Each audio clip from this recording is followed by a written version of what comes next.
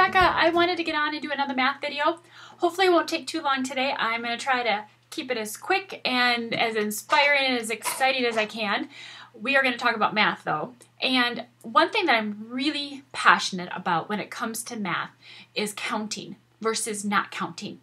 And the reason for that is I did every what everybody else does when you have a little kid running around. You're teaching them to count. What else would you do as a good mom? You're going to teach them how to count one, two, three, four, and just keep right on going. Because when they start school or when you want to start schooling them or whatever, they need to count to a hundred or count to ten or whatever. Well, Dr. Cotter with RightStart Math has really inspired me and made me so passionate about counting and actually about why counting is not math and why it doesn't work. So we are going to be talking about that today and I just want you to know that I was right up there with you that I did the same thing and I realized afterwards why it's not working. That paradigm shift needs to switch. Is I had a really real life adult example of why this doesn't work. Two years ago, I started a martial arts journey. I started a Japanese form of martial arts, and I'm excited with the kids. The kids and I are doing this together. We are very passionate now about martial arts, and during our classes at the dojo, we would be counting in Japanese.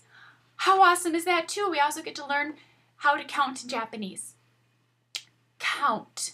Okay, I learned just like I taught my children how to count. So we're punching ichi, ni, san, shi, go, roko, shichi, hachi, ku, ju. We are kicking, counting to 10. We are doing our forms counting to 10. We are doing push-ups counting to 10, sit-ups counting to 10, everything. In no time flat, actually, a little bit longer for mom. The kids were much faster at learning to count in Japanese than I was we learned how to count to 10. And then it was kind of interesting. And I shared this with Dr. Cotter even because I'm like, I can count to 10 in Japanese. I have no idea what this number is in Japanese. I have to count through the first seven to get to the eighth one.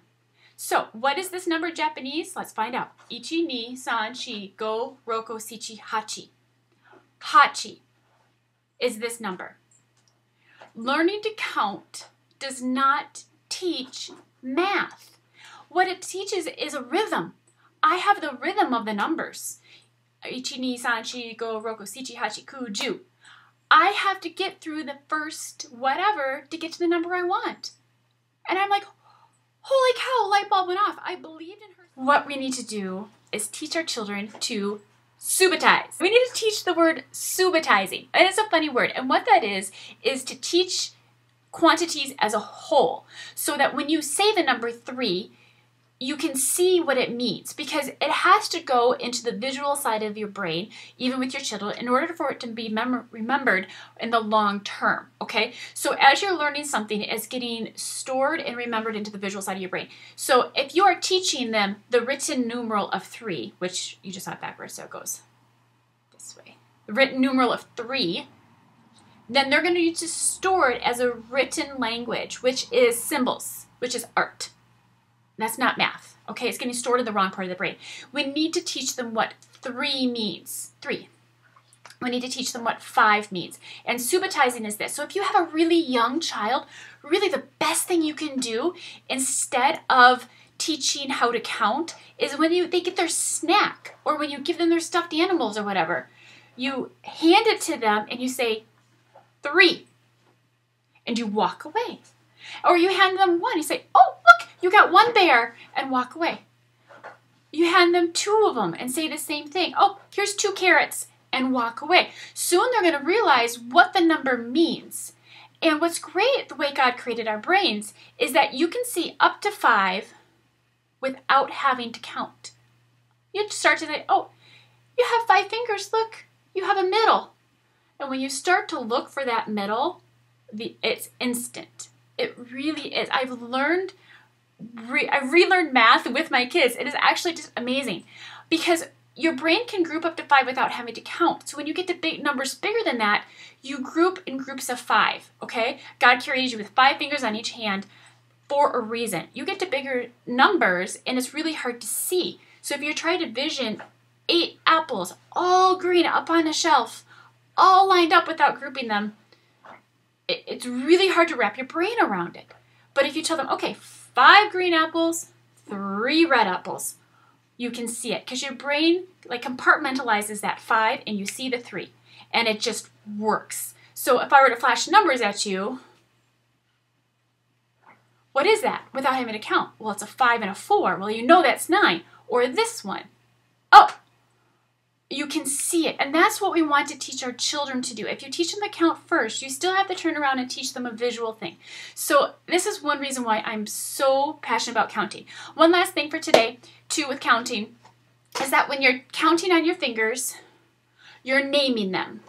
You've given them names. It's really nice. So these are my names. This is what I tell people when I go to conferences. Uh, Amy, Joe, Carla, Luke, and Elena. Actually, I'm going to turn my hand this way.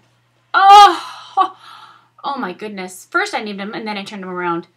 Alright, so we're going to name them again because you didn't understand the first time. Amy. Amy was here last time, but now Amy's here. Amy, Joe, Carla, Luke, and Elena. Did you get that?